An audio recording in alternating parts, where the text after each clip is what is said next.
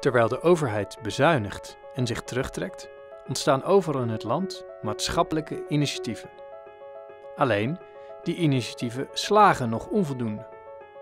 In de OMOEK werken met maatschappelijk initiatief nemen experts je mee. Ze bespreken nieuwe businessmodellen. Mensen herkennen instinctief een waardepropositie en als dat er niet in zit, dan kan je beter thuis blijven.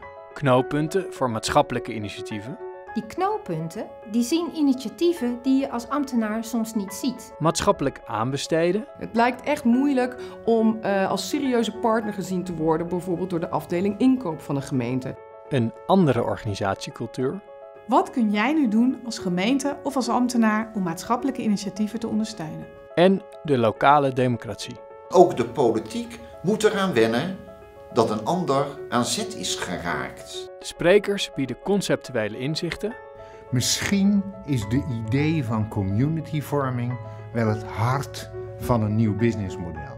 Voorbeelden uit de praktijk. Ik neem jullie mee naar de Nieuwe Jutter. Dat is een buurtcentrum in Utrecht. En ze geven concrete adviezen. En wat kan je nou als gemeente doen om die knooppunten het leven makkelijker te maken? Dus wil je weten hoe je meer maatschappelijke initiatieven echt kan laten slagen? Ga dan naar www.omoek.nl en volg vanaf 18 januari de OMOEK Werken met Maatschappelijk Initiatief.